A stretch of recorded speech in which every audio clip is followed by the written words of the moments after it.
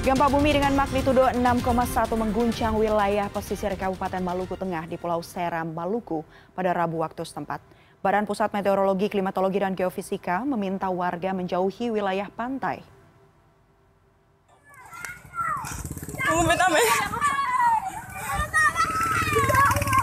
Video amatir ini menunjukkan warga berlari menyelamatkan diri ke arah pegunungan.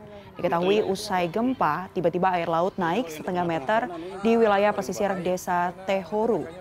Diketahui pusat gempa terjadi di sekitar 67 km arah tenggara Kabupaten Maluku Tengah dengan kedalaman 10 km di bawah permukaan laut.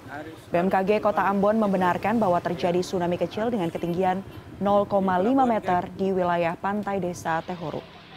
Gempa susulan terjadi sekitar 10 kali dan gempa juga dirasakan di kota Ambon, Masohi, Kabupaten Maluku Tengah sampai di Kabupaten Seram bagian timur dan yang terparah di Tehuru. Air pasang surut. Dengan data yang ter, yang kami dapatkan dari BIG dari pasang surut terjadi kenaikan 0,5 meter.